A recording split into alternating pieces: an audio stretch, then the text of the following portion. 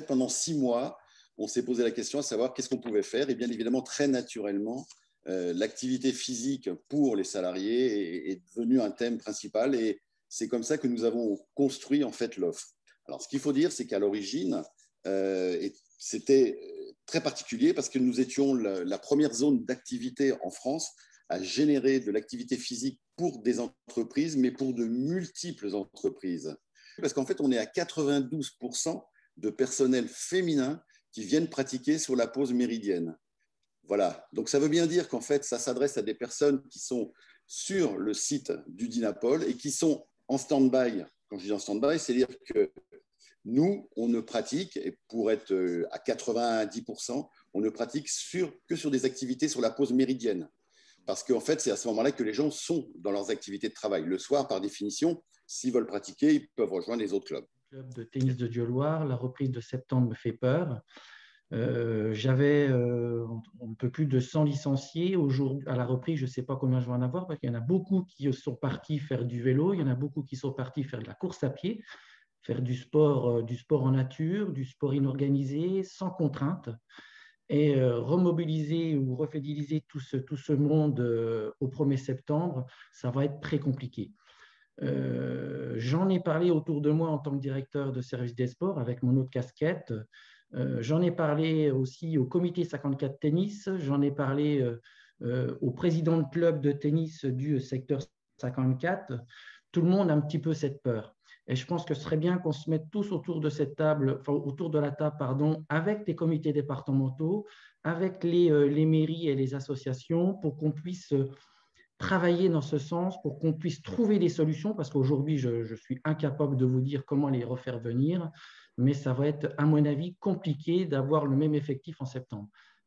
Alors, l'enjeu euh, me semble double. Il est double parce que euh, il va falloir à un moment donné séduire à nouveau les gens qui ont abandonné la pratique et euh, faire preuve d'ingéniosité pour que tous les licenciés perdus reviennent dans leur club. Mais on ne peut pas oublier non plus et faire fi de tous ceux qui ne pratiquent pas aujourd'hui ou qui pratiquent peu et euh, pour lesquels il va falloir euh, trouver les moyens de rendre la pratique sportive attractive. Alors, c'est pas compliqué, c'est compliqué de rendre la pratique sportive attractive parce que euh, on pratique toujours ce qu'on aime faire. On va toujours vers les choses qui nous apportent du plaisir, surtout en matière de loisirs, bien sûr. Et pour nous, le sport, c'est quelque chose, on l'associe au plaisir parce que euh, on aime euh, le goût de l'effort, on aime euh, transpirer. C'est pas gagné pour tout le monde quand même. Hein. la transpiration, tout le monde n'y trouve pas son compte. Avoir mal aux cuisses, tout le monde n'y trouve pas forcément son compte. Donc, ça veut dire que il faut que le milieu sportif, mais également les collectivités, puissent prendre en compte cette notion de plaisir et adapter leur offre de pratique pour répondre aux motivations les plus diverses et répondre également à l'ensemble des plaisirs que peuvent avoir les personnes pour aller vers la pratique. Alors, l'enjeu, il est de taille parce que euh, on a une urgence, c'est cette relance associative, euh, ce plan de relance, comme euh, ça, a été énoncé. Je pense qu'il va s'accompagner, à mon avis, de mesures financières. ça suffira pas. il y a certainement une méthodologie d'accompagnement à mettre en place également un soutien en matière de communication pour montrer toute, euh, toute la vigueur et toutes les valeurs qu'ont ce tissu associatif. Mais il faudra certainement également accompagner les associations à redéfinir leur projet associatif parce que la société a changé, les pratiquants ont changé et euh, la vie même et la gouvernance d'une association a changé. On ne dirige plus son club aujourd'hui comme euh, on le dirigeait il y a dix ans. Euh, c'est devenu compliqué juridiquement, organisationnellement. Le monde économique de l'association est en mutation, donc il faut se réinventer et il faut s'adapter. Euh, c'est ce que Sébastien euh, disait tout à l'heure avec les gens qui ont découvert une autre pratique. C'est surtout les, très jeunes, en dessous de, en dessous de 11-12 ans, parce qu'on sait que c'est compliqué pour une association de, de, de fidéliser euh, un, public de cet qu'âge-là, parce que c'est très volatile.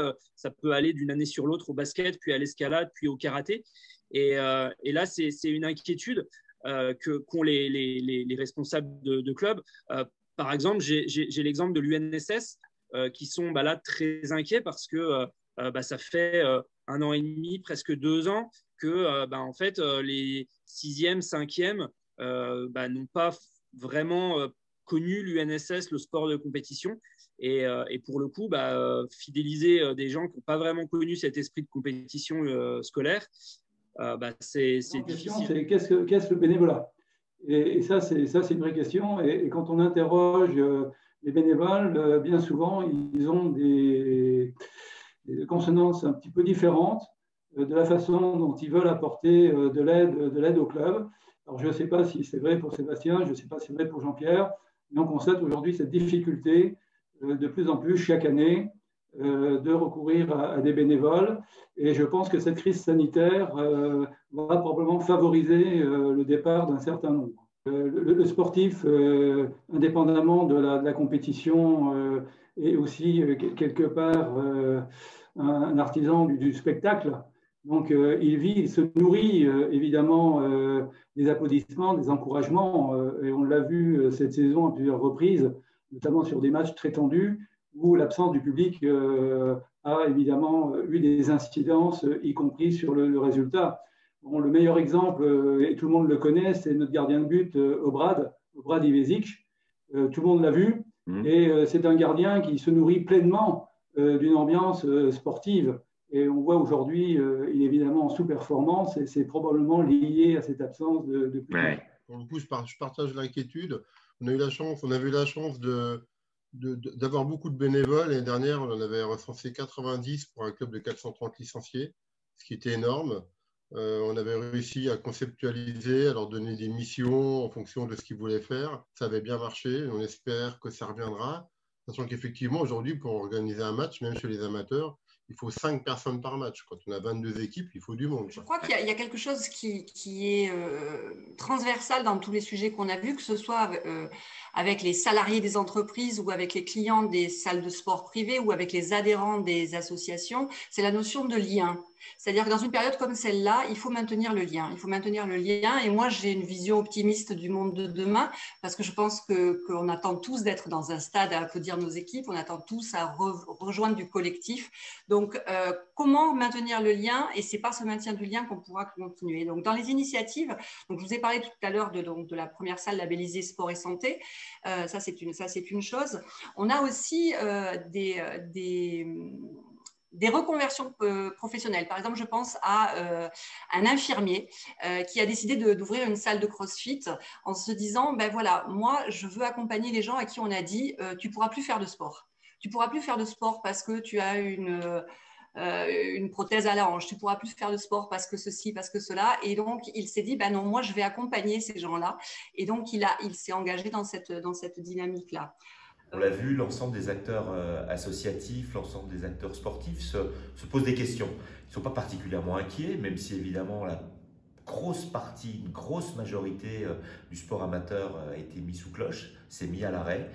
Une saison, deux saisons, pour autant que ce soit le sport amateur, soit le sport professionnel, on se rend compte que cette période invite les uns et les autres à repenser, à repenser les actions, le rôle des bénévoles, à repenser les modalités euh, de sponsoring des acteurs euh, économiques qui, euh, qui financent, qui participent à l'essor du sport. Mais aussi ces mêmes acteurs économiques qui participent activement, assez, et on l'a bien vu par les, nombreux échanges, au développement du sport en entreprise, au bien-être en entreprise. Et puis on l'a vu également, et il va falloir très sérieusement, ça sera le rôle de l'État, ce sera le rôle des collectivités, accompagner cette mutation pour faire en sorte que celles et ceux qui ont envie de, pratiquer une discipline, qui ont envie de changer de discipline, qui ont envie de s'ouvrir et de ne pas être liés dans telle ou telle association, puissent pratiquer dans des espaces rendus publics, rendus plus ouverts.